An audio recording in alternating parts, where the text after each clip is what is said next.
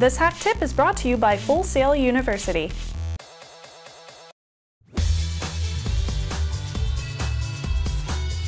Welcome to HakTip, the show where we break down concepts, tools, and techniques for hackers, gurus, and IT ninjas. I'm Shannon Morse, and today we are checking out Wireshark and the Transmission Control Protocol packets.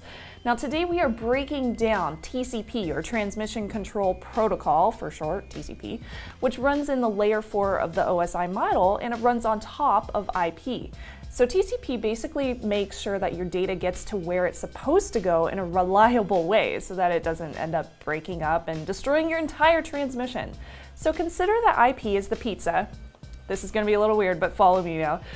IP is the pizza, TCP is the pizza delivery guy or the delivery girl like me when I worked at Domino's Pizza, and she ensures that your pizza gets to you on time. Get it? Yeah, it kind of makes sense. So let's go ahead and check out a TCP header packet like the one I have showed up on my computer.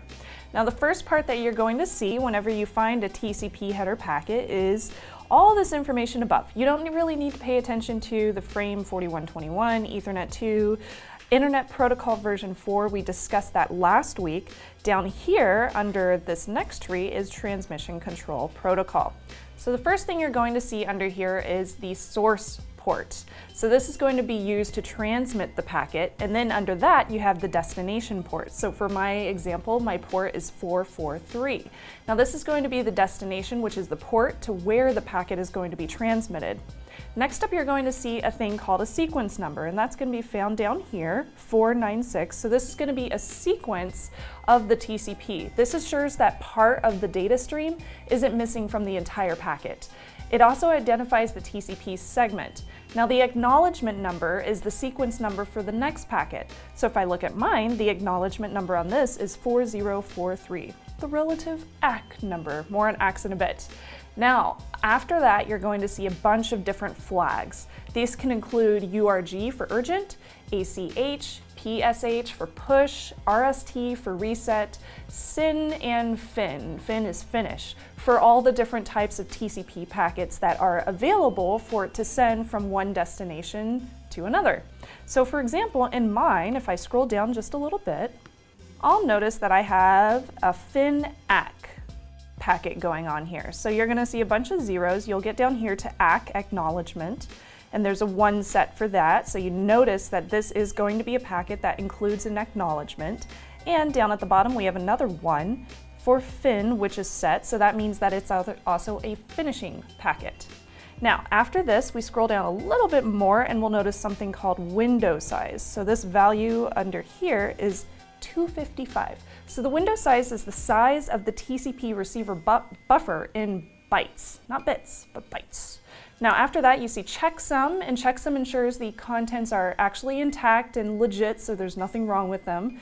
And under there you'll see urgent pointer, and this is if there's an URG flag on the actual packet.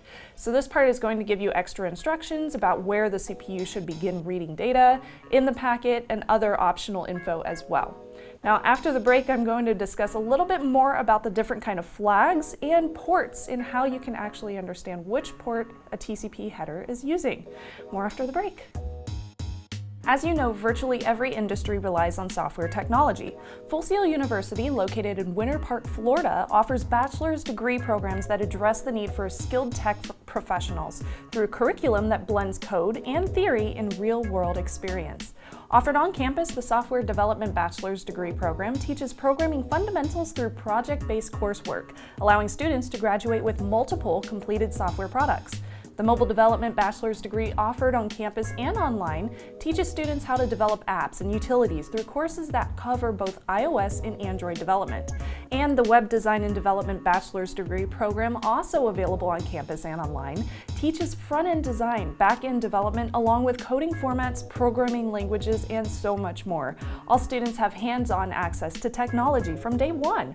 They receive a laptop computer at an institutional discount, along with relevant software and tools to learn more about Full Sail's web and technology programs, visit fullsail.edu slash haktip. We're back with Wireshark and TCP. So the transmission control protocol, this works by transmitting data on ports, obviously, because that would make sense, which range between port number one and port number 65,535. Ports number 1 through 1023 are called standard ports. So these are like port 80 for HTTP, that falls within this category, and there's uh, several others, but I haven't memorized them all. Uh, port 1024 through 65535 are called ephemeral ports. So these are randomly selected whenever a device needs to basically find an open port. Both the destination and the client need to know what port the other one is listening on to be able to transmit data between them. So you kind of need to know each other's phone numbers pretty much. Oftentimes the source port will be chosen at random whenever a TCP sends a packet. Now TCP TCP packets start with a handshake, and this ensures that the host and the destination are up and ready to communicate. It checks the open port, it sends a sequence number so that the data pretty much stays in line. Now the host is going to be sending a SYN packet to the destination, and then the destination will send a SYN ACK packet, so it can send both flags at the same time, and then the host will send back an ACK or acknowledge packet right back. Now during this handshake, the sequence number will go up by one each and every time. So the first acknowledgement packet will be number, you know, 45 or whatever it might end up being. The next one after that would be 46, 47, and so on and so forth. And you can have hundreds of packets between one data transmit and the other. So lots and lots of packets going on. Now the TCP teardown, TCP, is the very last packet that's going to happen. This happens between the two devices before their communication is over, and it's signified by the fin flag. Yay! That's the very last packet that you'll see because fin equals finish.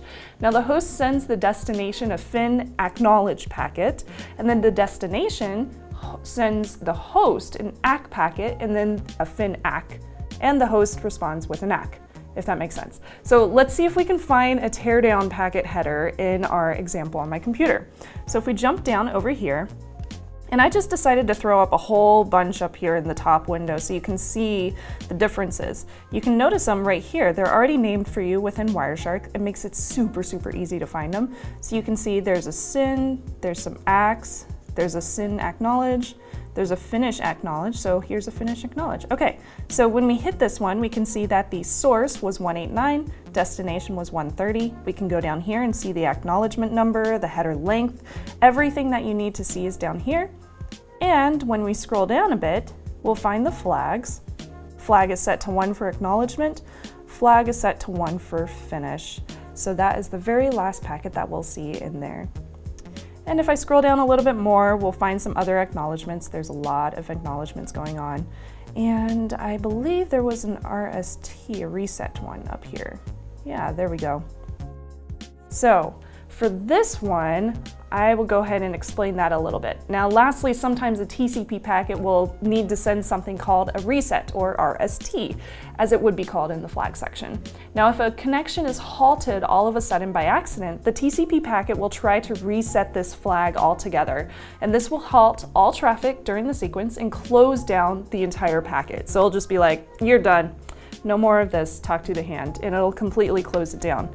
If I scroll down a little bit under here, you'll notice that now the flag is set to acknowledgement and reset. So you don't actually see a finish in this case, you just see a reset.